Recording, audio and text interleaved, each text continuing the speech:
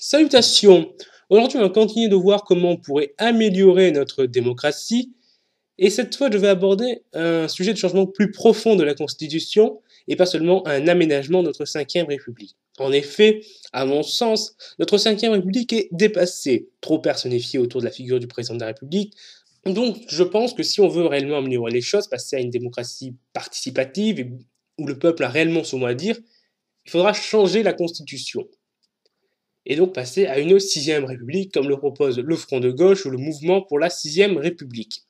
Avant de voir ce que l'on pourrait mettre dans cette sixième république, nous allons commencer par le début, ne mettons pas la charrette avant les bœufs, et voyons comment cette constitution doit être élaborée, du moins à mon sens. Puisque je ne pense pas que ça doit être des gens qui l'écrivent dans leur coin, puis qui disent au peuple, bon on a fait ça, vous êtes d'accord ou pas? Oui? Bon mais tant mieux. Non. Je pense que l'écriture de la Constitution, son élaboration doit être également aux mains des citoyens, également de manière démocratique. Comment faire cela?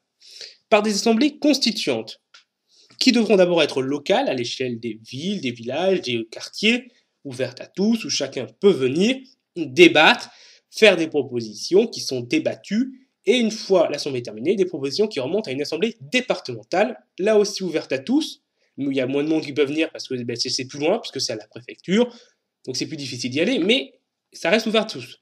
Et au moins, chacun a pu aller aux assemblées locales et y faire des propositions. Donc cette assemblée départementale se sert comme base de travail des propositions des assemblées locales du département pour faire à son tour des propositions, amender celles qui ont été faites par les assemblées locales, les développer, les compléter, bref, continuer d'y travailler dessus. Et durant tout ce processus, je pense que ce serait bien de mettre également un site internet où les gens puissent s'exprimer, faire des propositions, même pour ceux qui n'ont pas pu être présents aux assemblées locales pour une raison X, Y, présence de santé, autre. Enfin voilà, une fois cela fait, ces assemblées départementales terminées, il y a de nombreuses propositions qui ont été faites à l'échelle de la France. Celles-ci sont remontées à une assemblée constituante nationale qui, cette fois, a pour rôle de pencher clairement sur l'écriture de la Constitution, régler les détails, c'est-à-dire pas seulement faire des propositions, on veut la proportionnelle, on veut tant d'élus, on veut que ça soit présidentiel ou législatif ou les deux. Donc là, c'est comment on écrit ça, les détails de fonctionnement. Donc là, c'est vraiment un travail long et à temps plein, qui doit être fait durant quelques mois. Donc là, c'est des gens qui seront désignés d'une manière ou d'une autre. Ça peut être l'élection, le tirage au sort, la désignation par les assemblées départementales.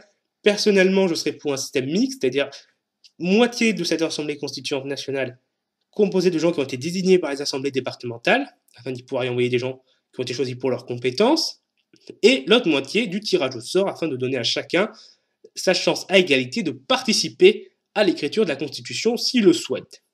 Une fois que cette Assemblée constituante nationale aura écrit la Constitution, et durant tout ce processus toujours de manière transparente, tous les débats doivent être transparents, accessibles du public, et qui puisse y réagir et y apporter son avis, afin de, continuer, que même tout le processus reste démocratique. Et donc une fois cette Assemblée Constitution écrite, elle devra être validée par référendum pour voir si le peuple l'accepte ou pas. Normalement, il devrait l'accepter vu que il aura participé à son écriture pendant tout le long. Donc ça sera vraiment une, constitution issue du peuple, donc normalement qui devrait être acceptée sans problème. Mais au cas où certains auraient glissé des choses qui ne plaisent pas au peuple, dont le peuple ne veut pas, il pourra toujours dire non. Donc ainsi, nous aurions une constitution qui serait sortie du peuple, qui viendrait des citoyens. Et à mon sens, c'est ce qu'il nous faut. Donc voilà, c'est terminé pour cette vidéo. Euh, les, dans d'autres vidéos, je ferai euh, des propositions sur ce que moi, je, faire comme proposition lors d'assemblées locales, départementales, voire nationales si j'y suis envoyé, sur euh, qu'est-ce qu'on pourrait mettre dans la Constitution.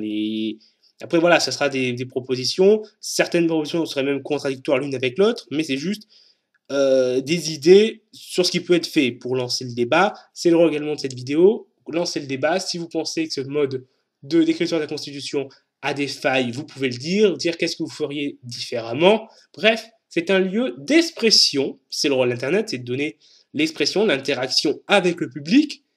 Donc c'est pour ça que je fais cette vidéo. Donc je vous invite à commenter afin de débattre et à partager cette vidéo afin d'étendre le débat au maximum de gens possible. Bref, j'ai terminé. J'espère que ça vous a plu. Au revoir tout le monde.